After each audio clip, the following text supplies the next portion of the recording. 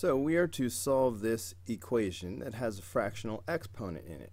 The first thing you need to do is to get the x to the 3 over 2 power by itself. So let's uh, subtract 10 from both sides. So that's going to leave us with x to the 3 over 2 power is equal to um, 216.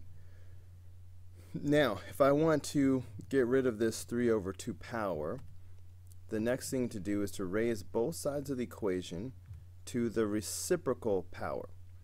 So 3 over 2, the reciprocal is 2 over 3. Now this will uh, cancel out and because it makes 1 and that leaves us with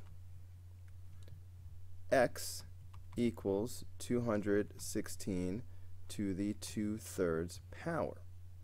Now, what does this really mean? How do I evaluate this? Anytime you have a fractional exponent, you have two things.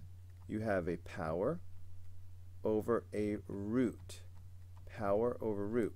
So this um, 3 in the denominator means cube root.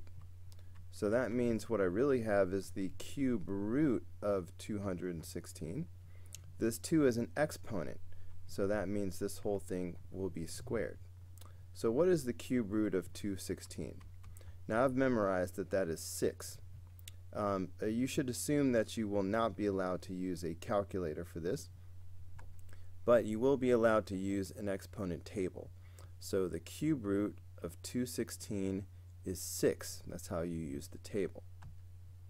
So I know that I'm going to have a 6 in here, and then that's squared. And of course we know that 6 squared is 36. So that's why the answer is C.